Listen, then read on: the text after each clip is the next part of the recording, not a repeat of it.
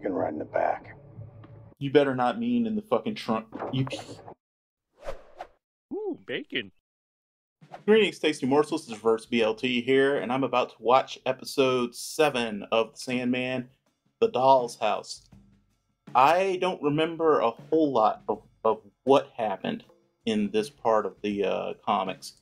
I remember sort of sort of broad strokes of of what happened in this one. I remember this particular arc being uh, kind of trippy, but I know that it ties back into what we saw with the uh, sleeping sickness that uh, started spreading after Dream was uh, imprisoned by uh, by Roderick Bur- uh, Burgess, and um, yeah, even looking at the synopsis here, yeah, it's definitely about that because I see Rose Walker is in the synopsis. As Rose Walker goes in search of family, and uh, oh, and we're getting to this part too. Uh, admirers of the Corinthians work scheme to get his attention.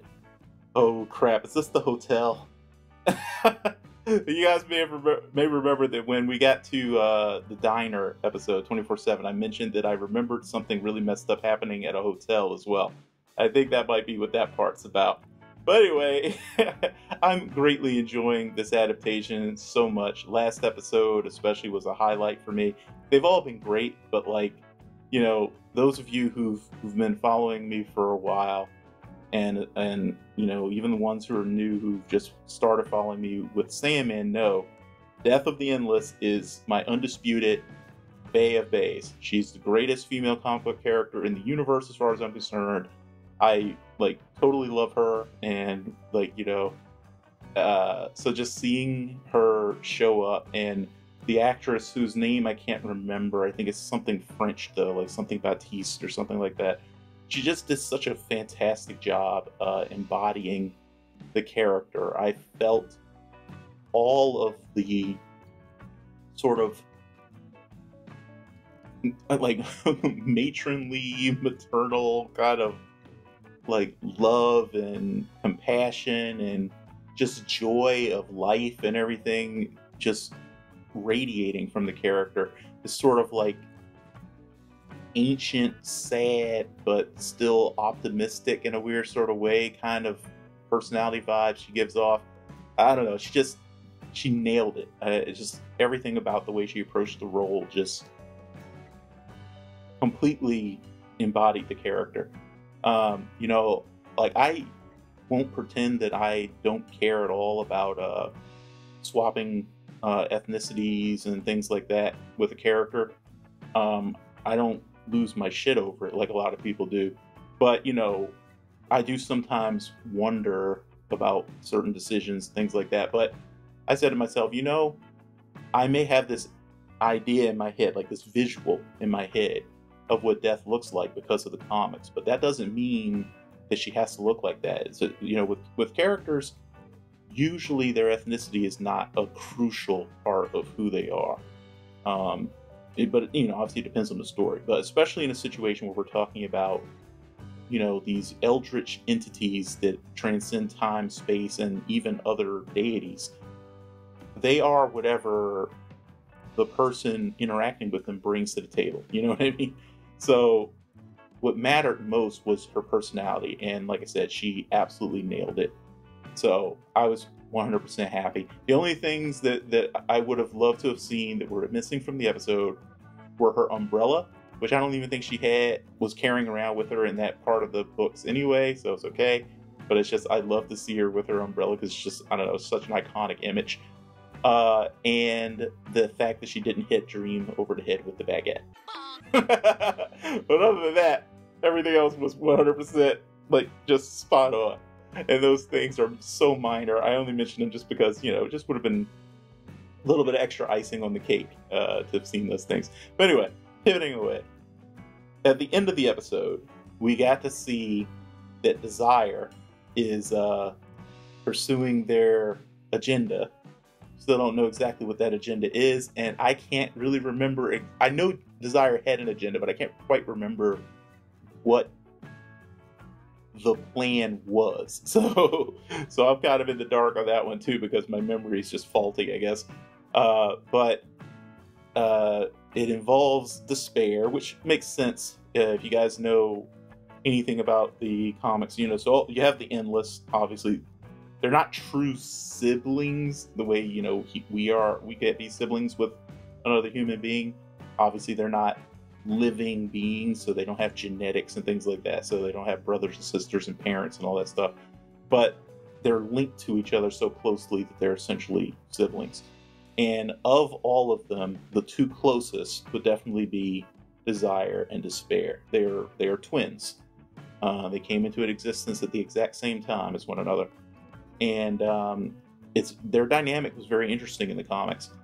I have, unfortunately, I've managed to kind of like steer clear of a lot of uh, spoilers for the show, and I put that in quotes because, like I said, I have read the comics, so spoilers kind of take on a weird dimension for me um, because I technically know, at least in broad strokes, where the story is going anyway. But I've tried to steer clear of a lot of visuals um, for for things that haven't just been put out in posters or whatever, and I hadn't seen anything about how they were going to approach um, desire or despair. So when I saw Desire's uh, actor on screen for the first time, that was the first time I had ever seen them. And when I saw, even though I had heard uh, before seeing the show that they had chosen a um, a non-binary actor, I believe. Um, I, I, was going to say trans actor, but I don't think that's true. I think I think they're just non-binary. Um, but I knew, you know, that the person was in the, you know, the LGBTQIA uh, plus community beforehand, but I didn't know anything about Spare. And unfortunately, literally like yesterday, I think, no, two days ago, after all that, and as late as I have too, especially I still hadn't seen anything, I suddenly saw a picture of despair for some article someone wrote where they said that um, Neil Gaiman was having regrets about the way the show portrayed uh, despair, and I, I think I can see already like what his regrets were because I noticed um, the portrayal was noticeably toned down, at least from the image I saw. And I'm curious to see how that will play in the show because, you know, part of a very essential part of the character in the comic was just how almost brutal um, her portrayal was. You know, just like how outwardly pathetic she was. There, of course, are different ways to convey that, but like, I think to get to a level of abject patheticness, you know, like a level of pathetic below which you cannot go. There are other things you need to show because patheticness isn't just like, oh, feeling bad for yourself about a few things.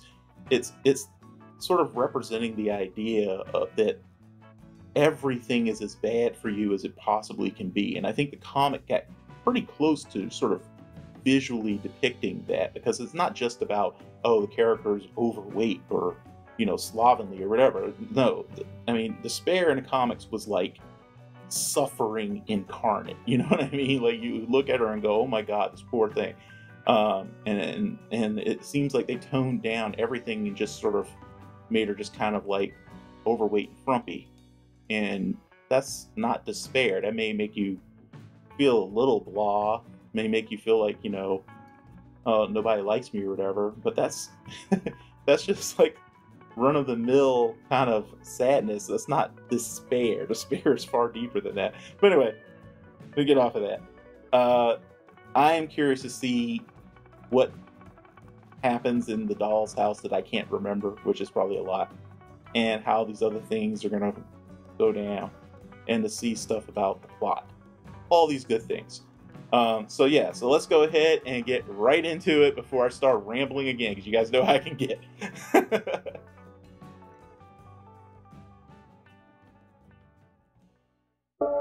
Rose Walker. All his library is starting to reform, I think. So these are the books of people's dreams. How far is New Jersey from Florida? About two days in the car, but. Mm. He doesn't want us to go. I knew that experience growing up, listening to people yelling and screaming all the time. I'm not going with you. Not this trip, sweetie. Dad promised. He changed his mind. Said he'd miss you too much. That's a classic controlling narcissist move right there. Say goodbye to your brother. And wait for me in the car, okay?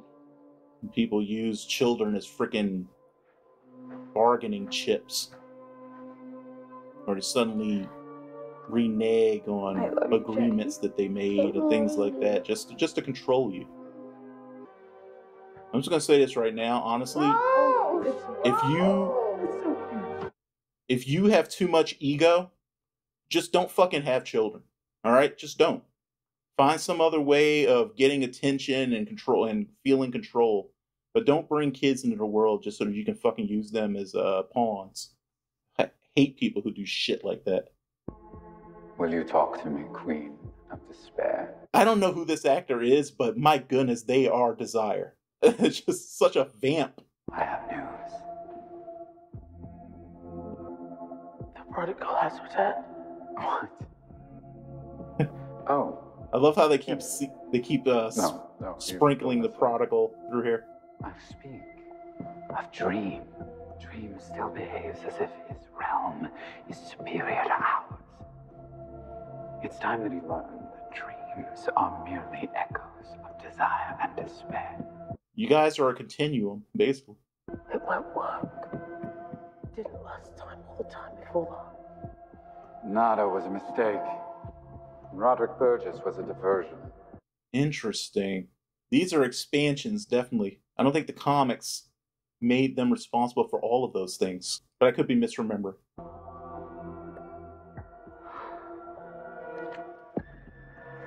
Okay, well we're still we're still keeping the the cutting No herself with her hooks. But she is already doing what vortexes do. If people are paying you to be somewhere, that is a job. And this foundation is paying you to fly to London. Well, they're not paying me. Your per diem is 250 pounds a day in cash. That's definitely being paid. It does get easier, right? You don't still think about Hector every second of every day, do you? I don't know if I would say it, it gets easier in a lot of the ways people probably think, but like you do get to a point where you can go longer without thinking about it. But every time you do think about it, it still hurts. Now, I'll need a complete list of all entities residing here.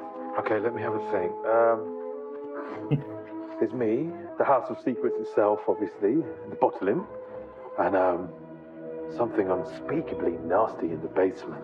Something nasty in the basement. I try not to go down there. I'm trying to remember if they ever say what it is. When you lose your parents, you suddenly realize it wasn't gravity keeping you on the ground all this time. Is this a British actress doing an American accent? Because some, something sounds slightly off. How are you? Are you okay? Probably not. No. Why do you say that? Because instead of being back at work, I'm on a plane to London talking to my dead husband. Ah, Sorry to wake you, but would you mind fastening your seatbelt? Thank you.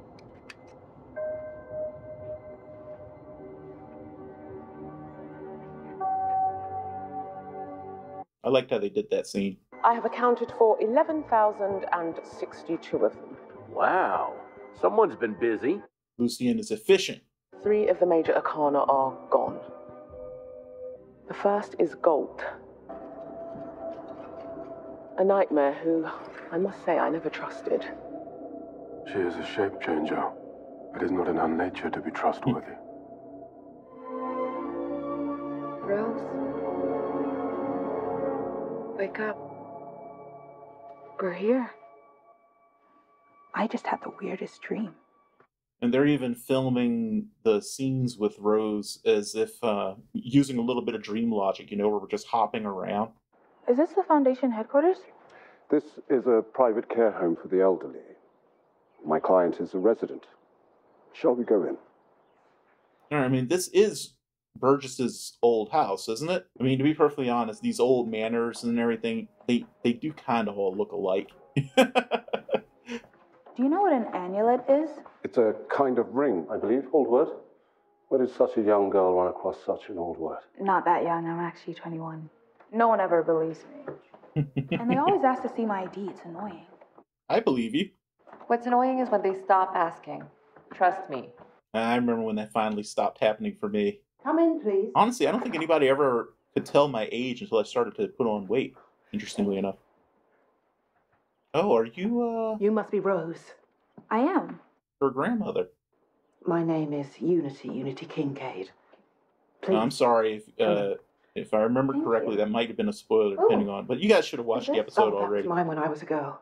Wait, what are you watching the reaction for if you haven't watched the episode? Had the most glorious life. I took over my father's business, and I met a man with golden eyes, and we had a baby. Hmm. But it wasn't until I woke up that I found out that none of it was real. Maybe it was just in a different way. The baby. They hushed it up at the time, but Mr. Holdaway found out that she was adopted by a fine family and that she grew up to have a daughter of her own called Miranda. Okay, great grandmother. I- I'm sorry to have brought you here under false pretenses, but I thought that if it were explained to you first, you might not have. You might not have come. No.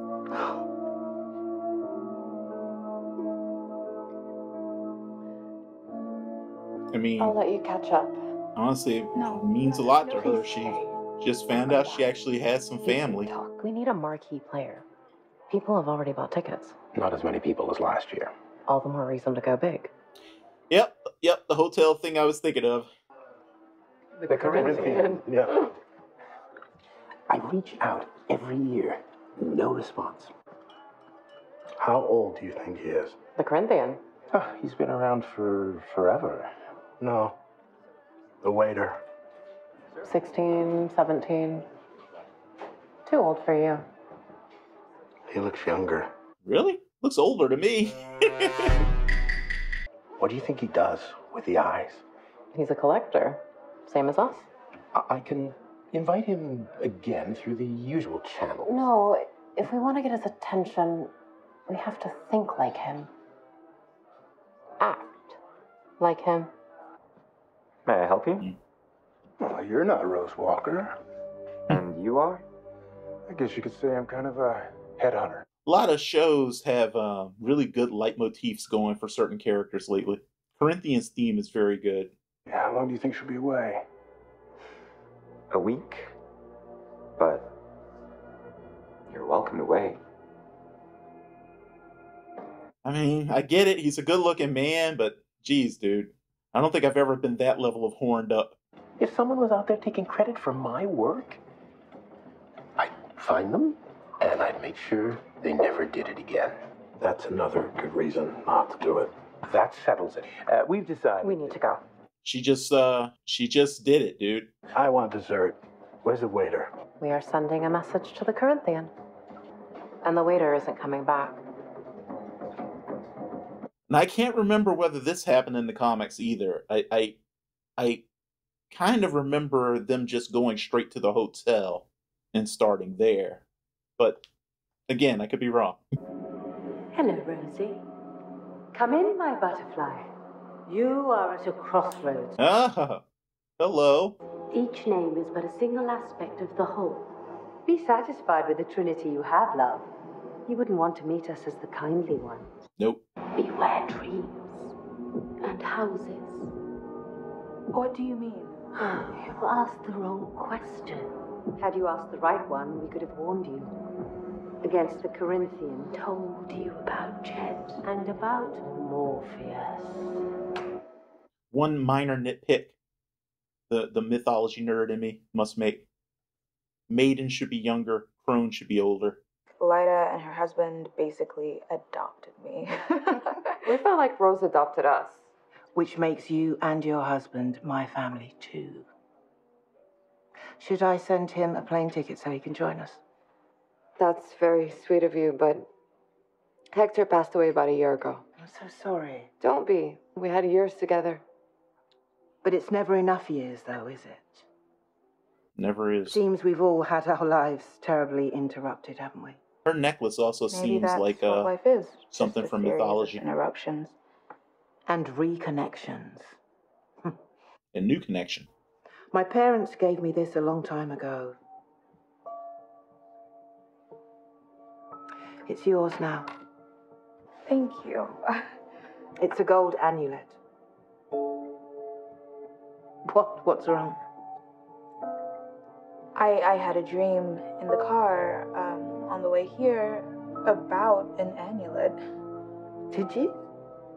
Well then, may all our dreams come true. Well, only the good ones, hopefully. Rose certainly left you plenty to read. You a big reader? He is, in a manner of speaking. I prefer people. Hmm. It's good news for people. Something wrong? Yeah, gotta get to work. More headhunting? Well, it looks like it. You sure you don't have time for just one more round?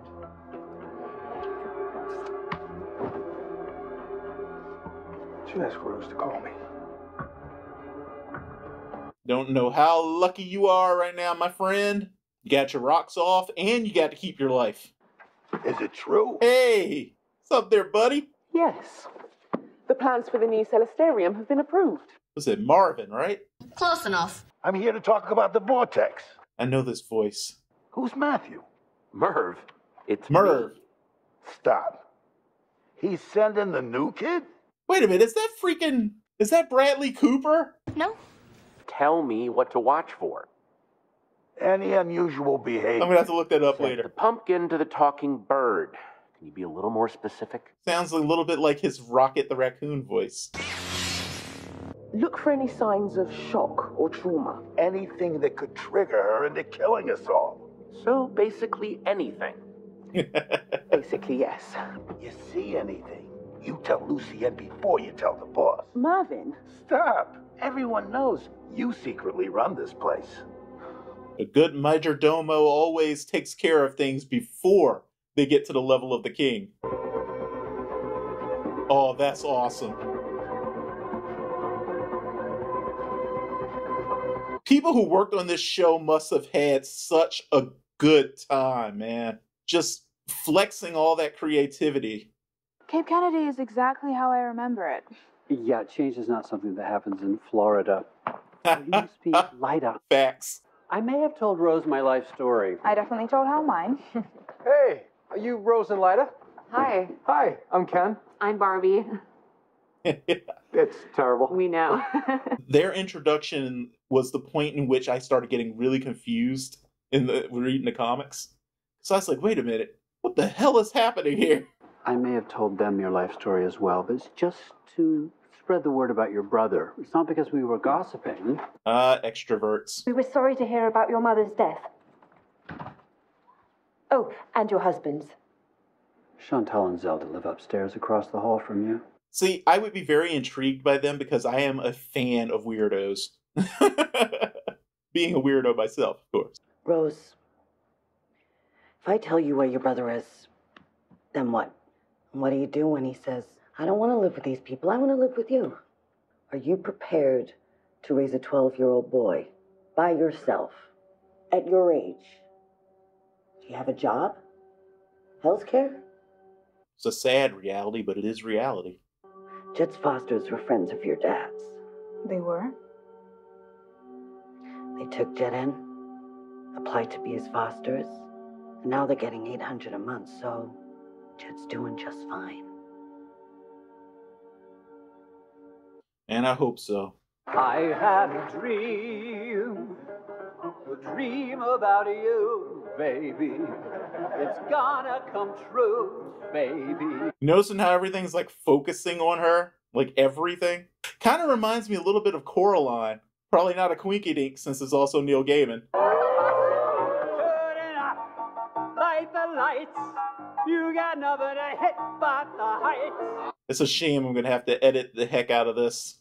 I know I'm gonna have to cut this pretty much this entire musical number.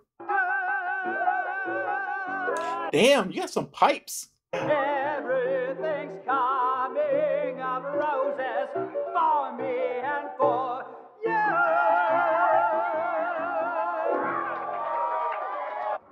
Is your friend not there? I'll be your friend. And a girl like you shouldn't be alone.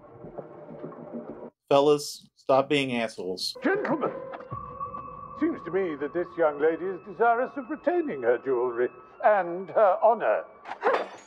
Nice.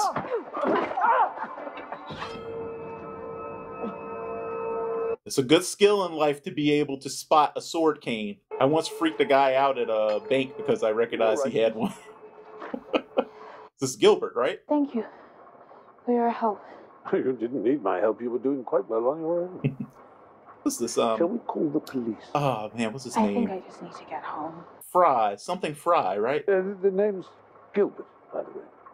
Are you the Gilbert who lives in House Attic? The very same. You aren't by any chance the new downstairs front lodger? The very same. Rose Walker. Delighted. I would I would kind of be like another Gilbert in the house, mostly keeping to myself, but every now and then coming down to involve myself in the shenanigans. I figured if one copycat crime doesn't get the Corinthians' attention, two will. Um, make that three. Though I consider mine to be more of an homage You both said this was a terrible idea. in the absence of a better one. This is a really bad idea to be doing this in a in a restaurant, guys. We hoped that since you are the current Corinthian, you might deliver the keynote speech. The current Corinthian. Well, you don't look 130 years old to me. Thank you. Well, that's quite an honor. A gathering of like minded souls, all uh, sharing the same dream. Wonder if I might bring a guest. A fellow collector? Oh, somebody who can take our shared dreams to a whole new level. Oh man, we are not prepared for that hotel, guys. That's another one where I can't remember specifics. I just remember the feeling I had reading it, which is just one of utter shock and awe. like, what on earth is happening right now?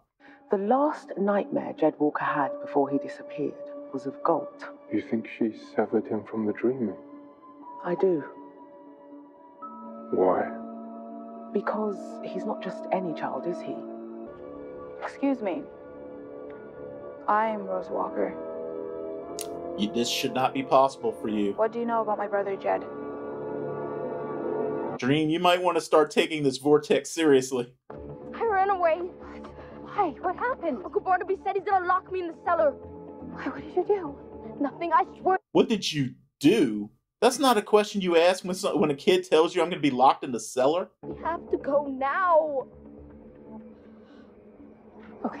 If a kid tells you someone's about gonna said they're gonna lock me in a cellar, your question shouldn't be what did you do. Your question should be how can I help? Let let's get you out of here. The hell is going on out here? Nothing, Bart. I just. I found Jed. I was just gonna bring him home. Jed's coming home with me. Are you, Jed? Yes, sir.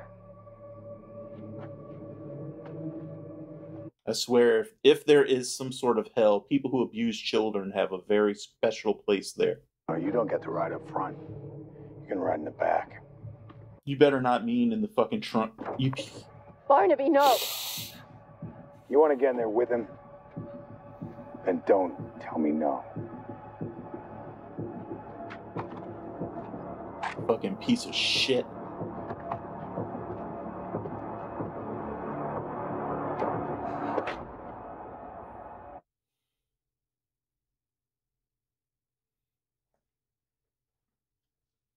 I have a particular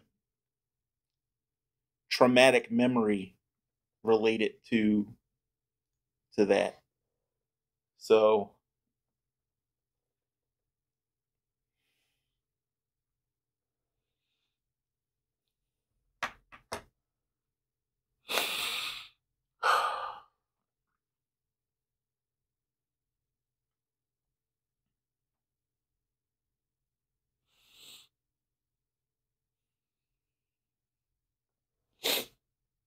I'm sorry, guys. I'm gonna I'm gonna need a minute. Um,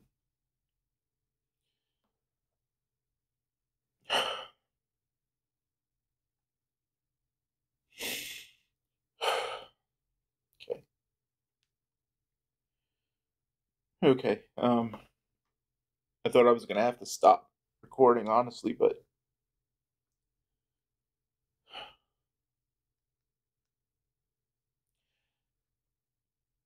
when I was a kid, honestly, only a little bit older than this kid because they said he was 10, right? So I think I was about 11. But, um, I had a, um, my mom was married to a man, my brother, my little brother's father, and he, he, he did something similar. Let's just leave it at that, you know. Not because, you know, I think it's too private to share, but it's just there's a lot of um, PTSD related to that particular event, because it um it lasted an entire day, so it's just hard for me to to really go there, you know. Um.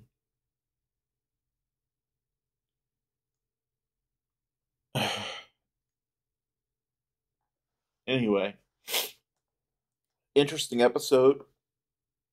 Um, I liked how they wove together the setup for what's going on with the Corinthian and and the um the convention that's coming up. Um, wow, yeah, I'm I'm actually starting to see panels again from that. That that was that that's going to be something. I don't know if they're going to do that for next episode. Because um, let's see what it's episode eight. I think there were nine episodes in the main run, and then they did the bonus episode. So my guess is the hotel, the the convention, is going to happen in episode nine because that's definitely something to cap off the season with. Um, but it was really interesting watching uh, those three. I, I cannot for the life of me remember whether or not their little plan to get him in, in uh, to notice them was included in a graphic novel or if it was just something that was talked about at the convention when they were talking about oh the guest of honor and, and that they had done some stuff to get his attention. I can't remember specifically what that was in it, but still loved it. it was, that was very fascinating. Um, even though I'm always kind of weirded out by when shows do scenes of people discussing incredibly sensitive, secret things in a space where they're surrounded by ears. and even having them go back to the um, you know, to have to continue having their meeting where they're all walking around carrying well the other two are walking around now carrying eyes of their own that they've taken from people they go back to the same exact place where one of them a few days ago had killed someone else in the bathroom and left them without their eyes. It's just, I'm like, how did these guys not get caught yet? They're very reckless, you know? And then, you know, getting the stuff with uh, Unity's story. Um, I, I, I feel like they handled it pretty well with what happened to her, though I think that I, I would have preferred us to have a little bit more of a moment to really reflect on what was done to her while she was unconscious in the hospital. You know, obviously, I mean, we all connect the dots, obviously. We don't need them to necessarily show it at some point in the series or anything like that. But I just felt like we kind of whipped past it a little quickly, like a little, almost like we yada yada it. Um, and, uh, you know, I don't know, I just felt like that the injustice of what was done to her needed a little more room to breathe um, for its impact to sink in a little more. You know, I think they did a great job of kind of building up the concept of a vortex. You can see how, like, you know, there's there's trepidation uh, amongst uh, the residents of the Dreaming concerning the vortex, um, and I think it's also kind of interesting how Morpheus uh, maybe is a little overconfident right now because he's feeling so powerful and uh, now that he's reclaimed power that used to be in his uh, ruby. And uh, also has found a new sense of purpose. Um, he's just sort of riding high right now and he's i think he's being a little just a tad bit reckless. Matthew continues to be great I have to look up the voice actor for Merv because it did sound like Bradley Cooper's rendition of uh, you know his voice that he does for Rocket in um, in Guardians and the other MCU stuff. So I'm thinking. I promise one day the sleeper will awaken. I'm thinking that it was him, um, but I have to look that up to find out. But anyway, yeah. So uh, the next episode is called Playing House. I see that up on the screen right now. So I'm guessing we're probably going to just basically close out um, the story that's happening here with Rose and um, and you know what's going on at that peculiar house that she's staying at, and um, what's going on with her brother and whether or not she can rescue him. I really it's funny. I I honestly don't think I remember that at all, and considering my own trauma, it might have been a bit of the story that I may have um, may have blocked out. You know, it's, yeah. Okay, here we go again.